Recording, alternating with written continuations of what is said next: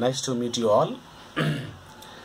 uh, today, uh, actually, it should be a PT Ortho uh, session, but since we have almost covered uh, all the theoretical portions and uh, instructive portions of uh, PT Ortho, and only the skill part is left. Those skills parts we would like to. It can be covered when the college is reopened. So until then, I would like to make use of the PT Ortho class also for clinical ortho because we have lot of portions to be covered in the clinical ortho. So let us uh, complete them uh, in the PT Ortho class also. Okay. Coming to today's uh, session, it is going to be uh, a continuation of the previous uh, clinical ortho uh, topic that is about the tumor, bone tumor we have been seeing in the bone tumor uh, the category called uh, benign tumor we have been seeing. We have not yet gone to the malignant tumor. In the benign tumor we have seen there are four types are there uh, which are osteoma chondroma osteochondroma and giant cell tumor. These are the four types. In that uh, osteoma about osteoma we have seen in the previous class. And today in this class we are going to see the second and third types. Okay? So the second type is chondroma. Chondroma means cartilage. Chondro means cartilage. So the name itself says the tumor, this tumor affects the cartilage portions of the bone, especially the growth plate at the end of the bone. In the bone, be, uh, be, uh, just below the articular cartilage, there is a plate, growth plate for the bones. That is the area where the bone growth takes place. We call it bone uh, growth plate. In that area, it is commonly this uh, chondroma can take place. Chondroma is nothing but it's a extra unnecessary cell growth at that area that can happen in two different forms. Either it can occur from the surface, from the surface of the bone, it can develop as a, a extra growth can occur as a rounded uh, and uh, irregular shapes the bone growth can occur. This is called as ecchondroma ec means out outside outside the surface. The another type is the same bone growth uh, cartilage growth can occur within the cartilage and it can push later on. This is called enchondroma okay? From the surface and growth outside is called ecchondroma within the bone and then later on pushing the bone outside is called enchondroma in kind of ecchondroma and uh, enchondroma if you see it is both of them are commonly seen uh, in the smaller bones of the hands and feet.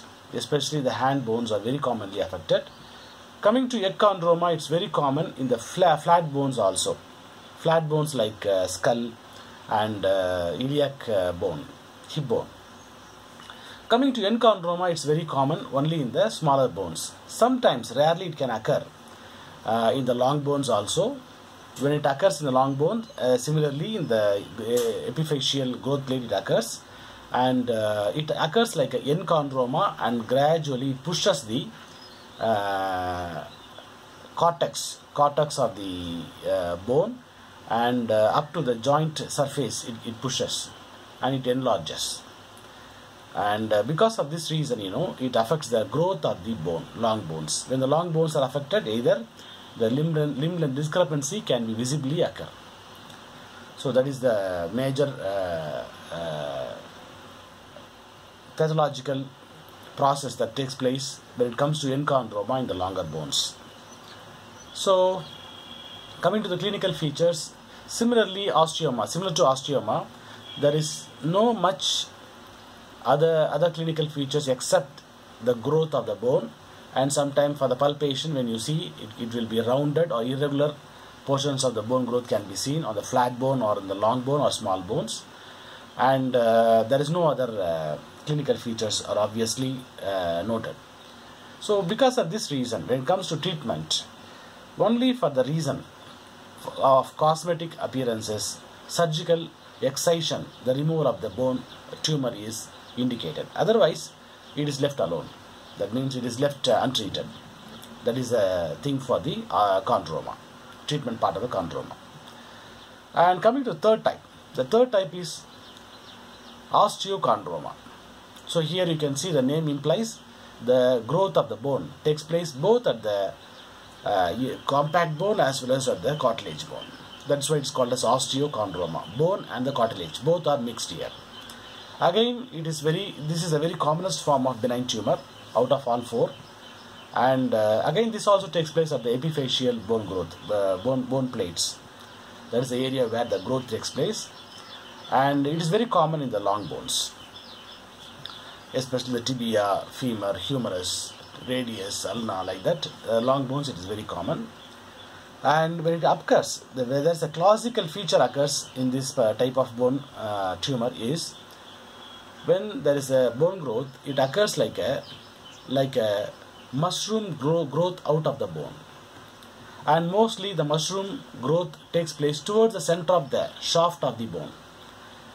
Okay, and uh, when, when there is a growth the stalk there will be a stem like uh, appearance will be there that will be very thin and then a rounded portion will occur so exactly like a mushroom growth you can see uh, at the outer surface of the bone when when we take the radiograph it can be very clearly seen okay. Now this since this also takes place at the bone uh, growth plate this could affect the bone growth very uh, predominantly. And uh, sometimes it can also result bone deformities and uh, visible deformities and disabilities in the patients. And not only that this particular bone growth can result pain also to some patients. Pain and uh, when you palpate there will be also tenderness outside the bone uh, tumor. That's a clinical feature about this problem. And uh, coming to the treatment part. Treatment part of the osteochondroma is it is again depending upon the symptom and the cosmetic reasons it can be either it can be uh, surgically removed or it can be left alone and uh, here a point I have to mention here uh, unless osteoma the chondroma and osteochondroma both can sometimes become malignant. Occasionally it happens in the long bone, especially when, when they affect the long bones, it can become uh, malignant tumors. When it comes to malignant tumors, they take the form of uh, chondrosarcoma.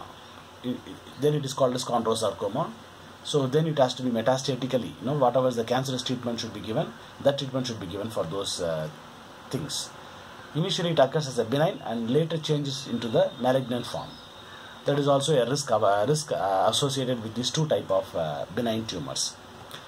That's it for today and uh, tomorrow we will see the another type called giant cell tumor that is also benign tumor that affects the long bones which we'll see tomorrow. Okay, thank you very much. Have a nice day.